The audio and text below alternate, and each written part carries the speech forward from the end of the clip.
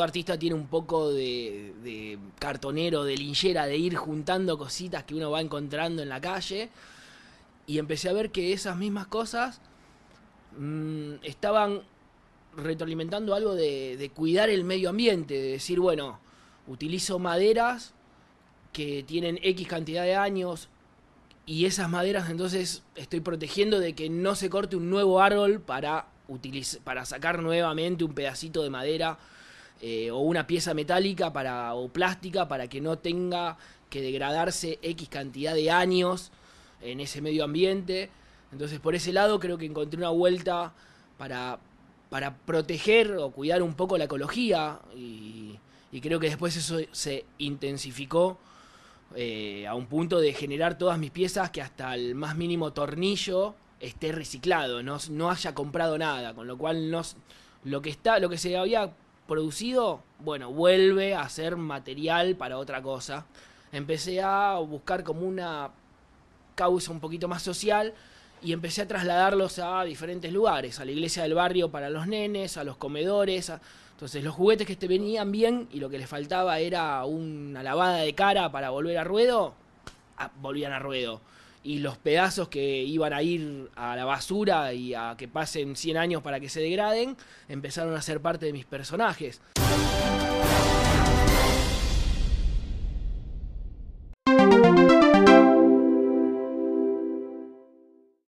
Luego del reciente aumento en peajes y taxis, suben las tarifas del transporte público. Como habían anticipado, rige desde este domingo, primero de abril, el aumento en la tarifa de trenes y colectivos. Los boletos mínimos pasan a costar en promedio 50% más que en enero. El colectivo subirá un peso más y en junio volverá a aumentar. El boleto promedio de colectivo pasa de 8.50 a 9.50. En trenes, el mínimo llega a 6.25 si se viaja en el Mitre, el Sarmiento y el San Martín, en tanto que en el tren Roca el boleto mínimo es de 3 pesos. Por su parte, el boleto combinado, la red sube, funcionará durante las dos horas posteriores a tomar el primer medio de transporte. Genera un descuento automático en aquellas personas que hagan transbordos. Del segundo boleto se abonará un 50% y desde el tercero, siempre dentro de las dos horas, un 25% de cada boleto.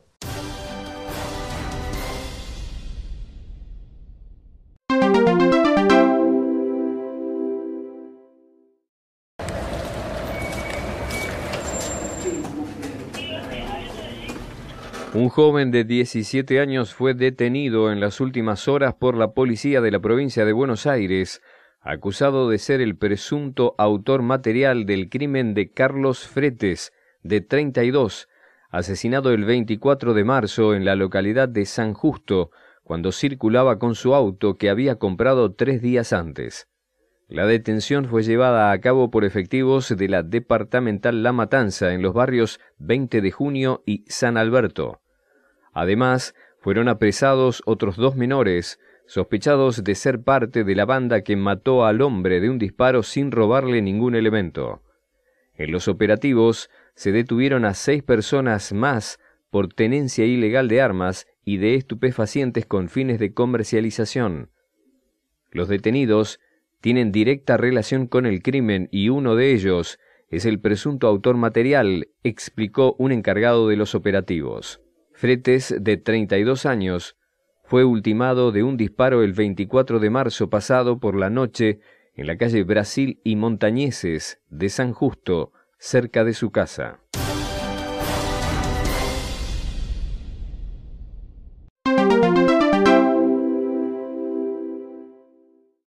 Básicamente tomar muestras de familiares que por distintos motivos no las han dado hasta ahora y, y- y- y profundizar un poco la investigación para, para, para así hacer las comparaciones necesarias para que las 32 personas que aún no están identificadas se identifiquen. Se intervino en 121 sepulturas, una de las cuales contenía dos personas, por lo tanto se trata de 122 personas cuya identidad había que establecer, se pudo establecer la de 90 de ellas.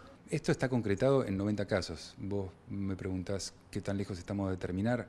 Es muy difícil hacer pronóstico. Yo creo que si, si hablamos de porcentajes, dos terceras partes, tres cuartas partes de la cuestión están hechas. Quiero contarles que este auditorio se llama Orlando Pascua Orlando Pascua es un excombatiente que falleció hace muy pocos años y fue de los primeros en llevar a cabo tanto las políticas de denuncias por malos tratos por parte de sus propios oficiales a soldados en Malvinas, eh, encuadradas como delito de lesa humanidad, eso es algo que la justicia no ha resuelto, como también la demanda por las identificaciones. Entonces, eh, me parece eh, que es importante que sepamos el nombre del auditorio, que pongamos en ese contexto la fecha y recalcar que el sentido profundo de que un museo sobre Malvinas esté, esté, esté en un espacio como este, el espacio para la memoria, que hay que aprender a decirle ex ESMA, pero para mí la verdad que por edad sigue siendo la ESMA, es algo eh, que nos enorgullece y que nos esforzamos por darle un sentido propositivo.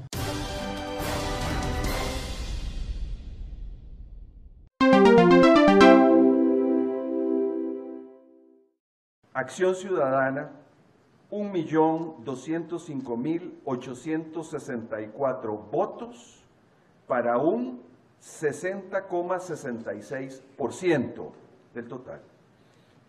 Restauración Nacional, 782.009, es decir, 39,33%. Hoy el mundo vuelve su mirada hacia Costa Rica y Costa Rica una vez más lanza un hermoso mensaje democrático. Bien hecho Costa Rica.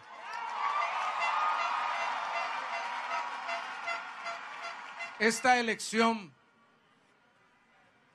en particular nos ha confrontado con un espejo como país. Y tenemos que leer esta elección así.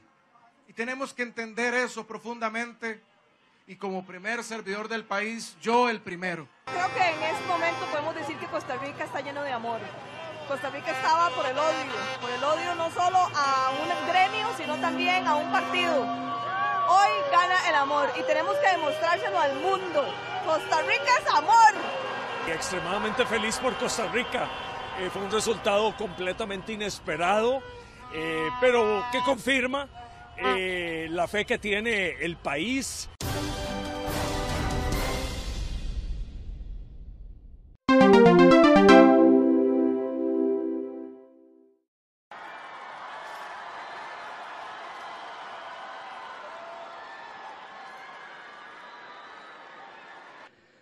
E noi oggi domandiamo frutti di pace per il mondo intero, a cominciare dall'amata e martoriata Siria, la cui popolazione è stremata da una guerra che non vede fine.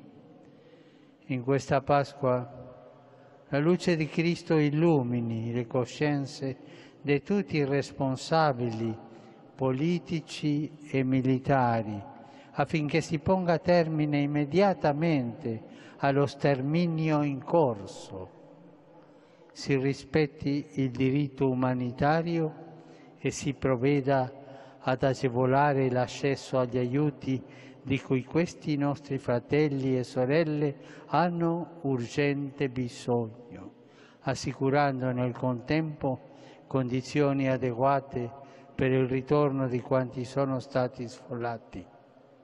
Frutti di dialogo imploriamo per la penisola coreana, perché i colloqui in corso promuovano l'armonia e la pacificazione della regione.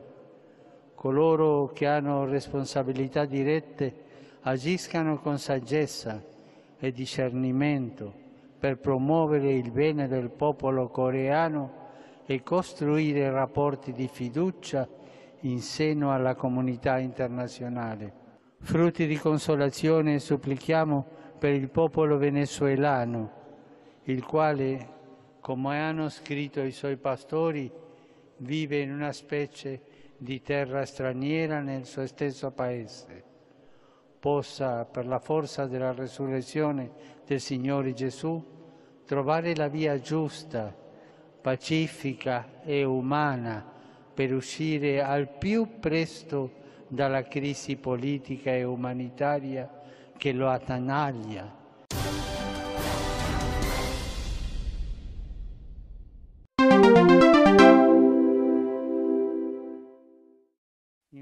En efecto, Jesús dijo, por esto todos sabrán que son mis discípulos, si tienen amor unos por otros. He aquí por qué no podemos encerrarnos en nuestro mundo privado, en nuestro grupo, sino que estamos llamados a ocuparnos del bien común, a ocuparnos de los hermanos, especialmente de aquellos más débiles y marginados. Solo la fraternidad puede garantizar una paz duradera, puede vencer los diversos tipos de pobreza, puede apagar las tensiones y las guerras, puede extirpar la corrupción y la criminalidad. Invoquemos el don de la paz para todo el mundo, especialmente para las poblaciones que más sufren a causa de los conflictos en acto. Renuevo mi llamamiento a fin de que las personas secuestradas o injustamente privadas de su libertad sean dejadas en libertad y puedan regresar a sus casas.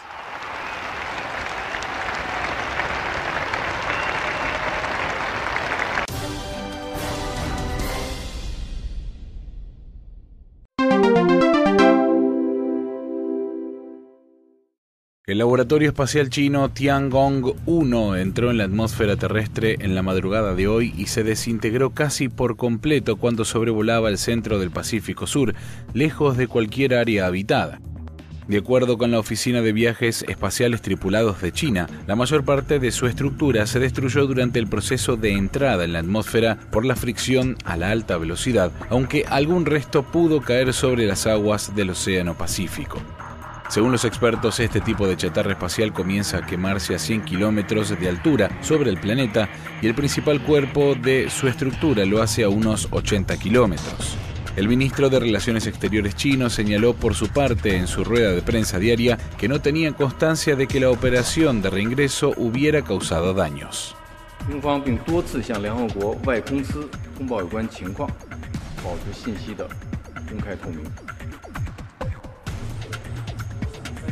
目前没有发现对地面造成损害。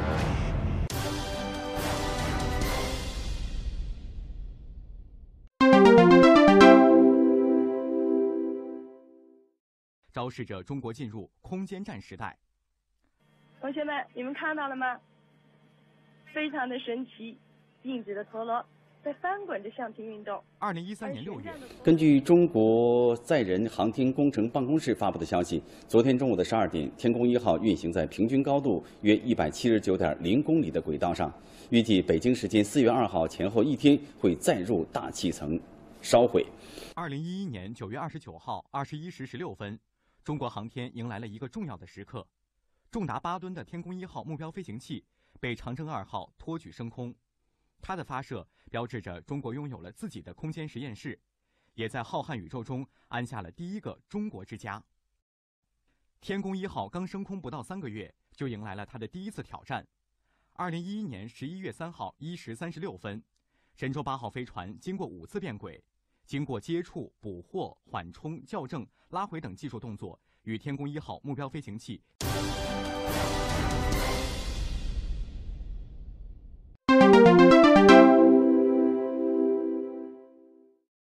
Qué días que, han recorrido ustedes todos juntos.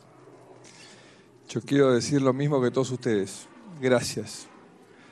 Primero, gracias por estar acá, en esta que también un poco es la casa de todos los argentinos en este día tan especial para todos ustedes, pero también para, para todos, para todos los que realmente amamos este país. Cada 2 de abril volvemos a recordar, volvemos a homenajear esos jóvenes que lo dieron todo, hasta el final, por este sueño que no resignamos, claramente no resignamos. Y este 2 de abril, como ustedes lo manifiestan, es, distinto al, que vivimos juntos el año pasado. Totalmente distinto porque algo que parecía ya imposible y después de tantos años de resignación, de angustia, con diálogo, con una diplomacia madura, logramos empezar a saldar esta deuda, ¿no? Esta deuda que, que teníamos todos los argentinos con ustedes. La verdad que espero que ustedes hayan podido reencontrarse y que hayan podido empezar a cerrar ese episodio tan doloroso en la vida de todos ustedes, ¿no? Porque finalmente eh, hay cosas que solamente Dios puede explicar tal vez las conozcamos y las entendamos mejor en la próxima vida. Es realmente importante que sigamos, que sigamos esta tarea de sanación, esta tarea de reparación y con ellos ahí nuestro sueño seguirá más fuerte que nunca. Y vamos a seguir reclamando lo que creemos que es legítimo y que nos pertenece, ¿no? que es la soberanía sobre esas islas.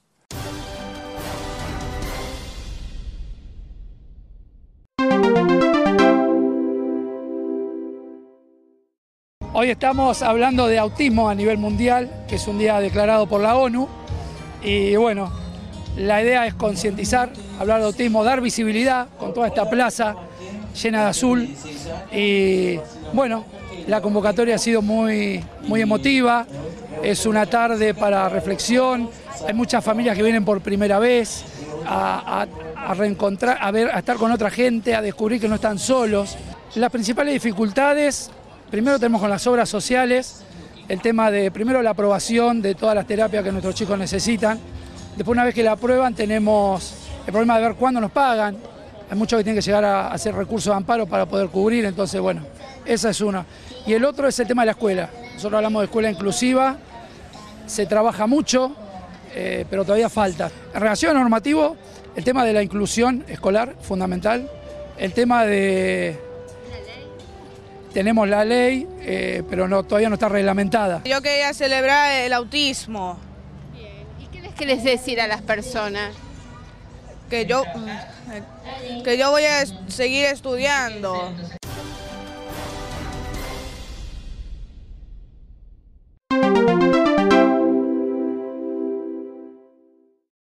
Winnie Madikizela Mandela, la segunda esposa y principal apoyo del líder sudafricano Nelson Mandela en su lucha contra el régimen racista blanco del apartheid, murió hoy a los 81 años por una infección renal en el hospital Nectar Mill Park de Johannesburgo, donde estaba internada desde el fin de semana tras agravarse su estado de salud. La salud de Madikizela Mandela, conocida en Sudáfrica como la Madre de la Nación, se había deteriorado en los últimos años hasta que hoy el vocero de la familia Mandela confirmó el deceso. Nacida en Visana, provincia del Cabo Oriental, en 1936, Winnie Mandela se mudó a Johannesburgo para estudiar trabajo social. Allí conoció en 1957 al militante anti-apartheid y abogado Nelson Mandela. Al año siguiente, cuando Mandela enviudó de su primera esposa, se casaron y tuvieron dos hijos. En 1992 el matrimonio Mandela se separó y en 1994, cuando Nelson asumió la presidencia, se inició el proceso de divorcio que culminó en 1996. Tras la separación, Winnie siguió actuando en política más allá de su ex marido y tuvo una carrera plena de altibajos sin perder nunca el control de una importante fracción del Congreso Nacional Africano.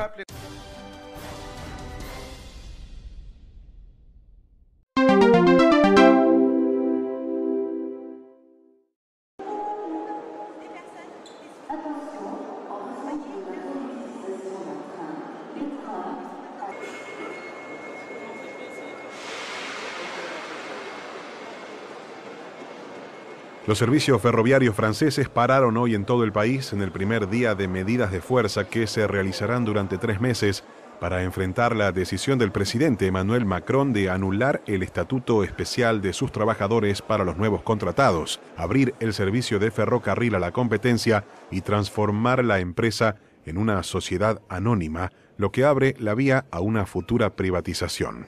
Solo uno de cada cuatro trenes circulaba en la región de París, informó la Compañía Nacional de Ferrocarriles, mientras las personas volvían al trabajo luego de un prolongado fin de semana de vacaciones de Pascua. A raíz de las medidas de fuerza, las plataformas en Gare de Lyon, la estación ferroviaria más concurrida de París, estuvieron tan llenas de gente que algunas personas cayeron sobre las vías desde los andenes.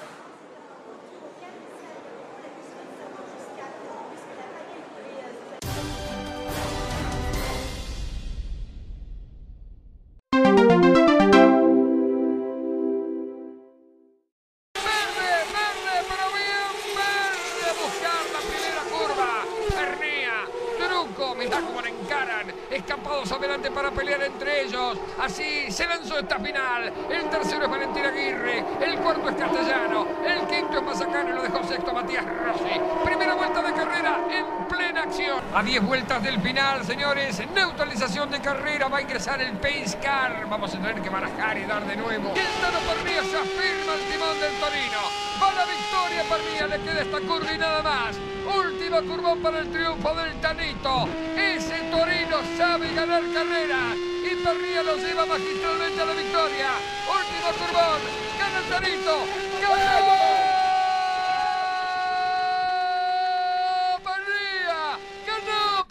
al final de carrera. Ganó Parrilla. De punta a punta en San Luis. Ganó Lionel Parrilla que estalla en llanto después de cruzar la sentencia. Ganó Parrilla. Se le dio por fin.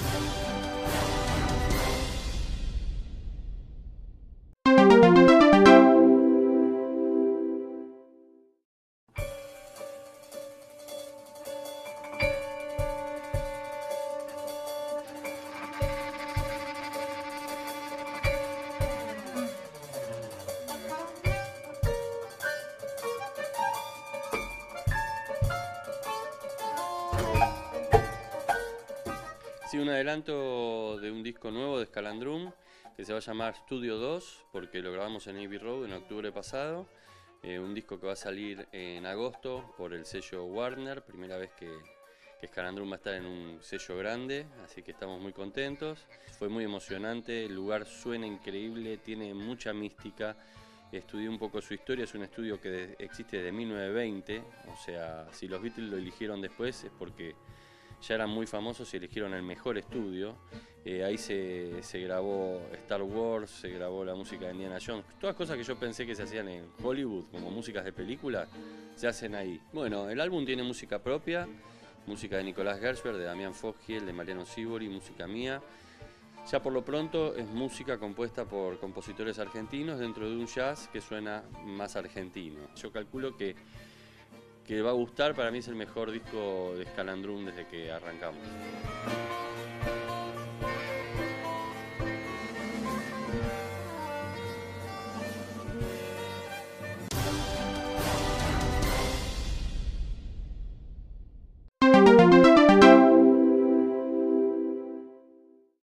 Hoy arrancamos con la preventa de entradas, que ya es un clásico, 10 días antes del festival. Eh, largamos la venta de entradas y la verdad que nos está yendo fantástico. Y nuestra expectativa es que toda la gente que tenga ganas y que le guste el cine pueda encontrar en el Bafisi algo que lo entusiasme. Y hay variedad, pero de, para distintas edades, géneros, este, gustos, cultos, digamos, hay una gran, gran variedad y es lo que intentamos cultivar desde el Bafisi. Arranca el 11 de abril, es hasta el 22 de abril, hasta el domingo 22 de abril y las entradas están a la venta, 55 pesos y 40 para estudiantes y jubilados. Me encanta ver mucho cine argentino, ya está toda vendida la película esta de, ¿cuál era la? La de, la de Albertina Garri, así que espectacular. Por después yo quiero ver la de Haneke, Wes Anderson y cine asiático, que es un piletazo porque no lo conocemos, pero es muy interesante conocerlo. Este año, bueno, también me interesa ver alguna cosa que tenga que ver o con arquitectura o con música.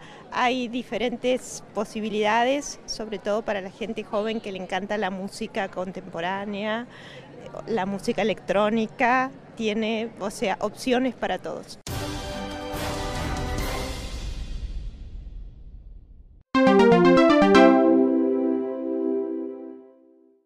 Nosotros eh, hacía algún tiempo veníamos recibiendo de algunos familiares que eran del interior este, algunas denuncias de hechos que habían sucedido en el, Club River. Eh, la realidad es que esperamos a poder corroborar esa información con una declaración que entendemos es sumamente sólida, que es la de una médica cirujana del Club River que se desempeñó en el club durante aproximadamente siete años, eh, que trabajó al principio en negro, después comenzó a trabajar en blanco en el club y fue aportando una cierta cantidad de datos que tienen la entidad suficiente como para comenzar una investigación. Al igual que como comenzó la investigación independiente, que comenzó con un cuerpo de prueba muy básico y después en la medida que fue avanzando la investigación se fue desbaratando lo que a prima facie parece funcionar como una red de prostitución, nosotros entendemos puede estar sucediendo lo mismo en el Club River. No lo sabemos, digo, tal vez fueron abusos aislados. Lo que sí nosotros tenemos conocimiento a partir de, la conversación que tuvimos con la médica cirujana es que había una persona, ¿sí? una persona eh, transgénero, este, transexual, un trans, que se acercaba al club tres veces por semana, que no era miembro de la comisión ni era eh, dependiente o empleado del Club River, pero sí que ingresaba y salía al club y tomaba contacto con los menores que estaban en la pensión que incluso los abusos que le revelan al psicólogo los menores eran de esta persona que se manejaba dentro del club.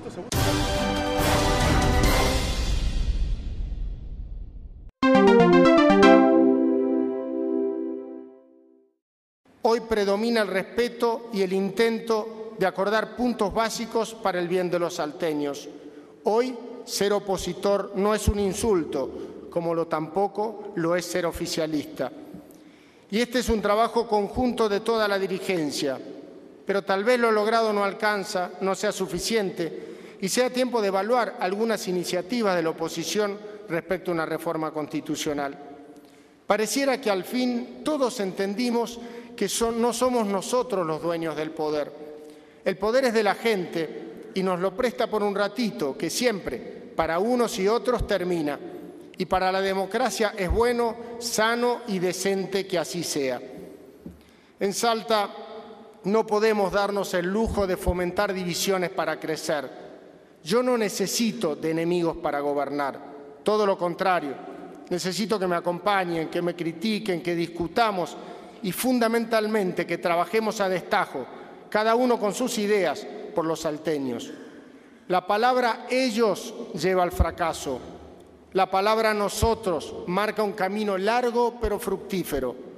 La palabra grieta es una tragedia que no debe ser naturalizada. No se trata de auspiciar y alimentar el uno contra el otro.